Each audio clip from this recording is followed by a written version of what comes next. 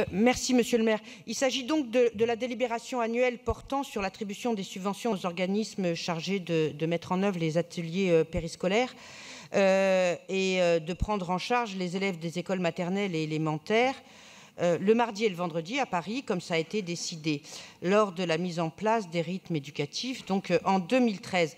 Comme l'an dernier, ce sont donc 79 organismes qui seront chargés de mettre en, en œuvre 263 ateliers pour un, million euh, pour un montant d'un peu plus d'un million d'euros. Donc cette délibération est pour nous l'occasion de revenir sur cette euh, réforme des rythmes éducatifs qui a fait couler euh, beaucoup d'encre et qui suscite encore de très nombreux débats.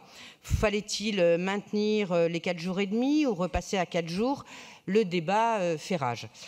Pour tenter de répondre à cette question, je pense qu'il faut rappeler l'origine euh, de ce débat et ses, enjeux. Ce débat, c'est d'abord un débat sur les apprentissages fondamentaux et la question euh, posée est la suivante. Comment mettre en œuvre des rythmes scolaires qui mettent les enfants dans les meilleures conditions pour acquérir les fondamentaux, lire, écrire, compter, etc. etc. Certains ont considéré, et je dois dire que c'était mon cas, que la façon la plus efficace pour acquérir, durablement la lecture était euh, de pratiquer euh, euh, cinq jours d'affilée les apprentissages. D'autres, euh, c'est le cas maintenant, considèrent que, euh, en l'absence d'études véritablement euh, fiables, l'essentiel est de limiter le nombre d'élèves devant les enseignants. Pour être tout à fait franc, je pense que l'honnêteté intellectuelle nous oblige à constater que, en l'absence, encore une fois, d'études consolidées, de suivi de cohorte, personne n'en sait véritablement rien.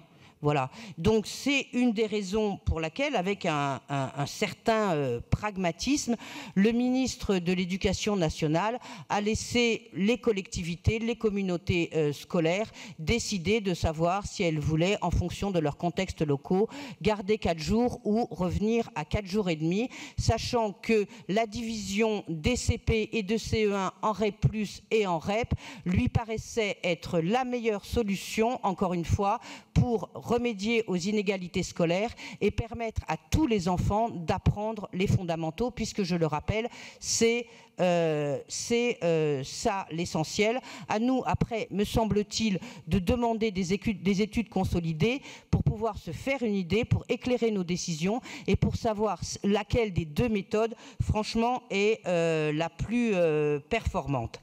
Parce que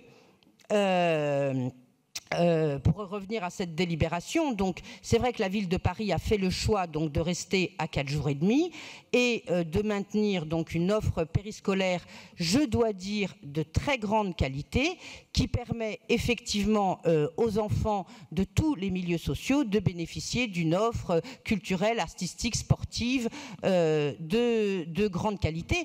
Et c'est encore une fois le deuxième objectif de la réforme, qui était donc non seulement d'offrir un cadre pour permettre à tous les enfants, y compris les plus défavorisés, d'apprendre les fondamentaux, mais aussi de leur permettre d'avoir accès à toutes ces activités. Et c'est précisément le sens du plan mercredi que va annoncer le, ministre Blanquer, qui, proposera, en fédérant l'ensemble des énergies, des associations et des ressources locales, de proposer, encore une fois, à tous les enfants, dans toutes les communes, que celle-ci ait choisi les quatre jours ou les quatre jours et demi, un plan d'activité culturelle, artistique, évidemment, totalement euh, gratuites qui permettront donc, j'allais dire, de tenir les deux bouts de euh, ce débat, à savoir les meilleures conditions possibles, pense-t-on, euh, pour que tous les enfants apprennent à lire et écrire, à compter, et leur permettre en même temps, si j'ose dire, d'avoir accès à toutes ces, ces, activités.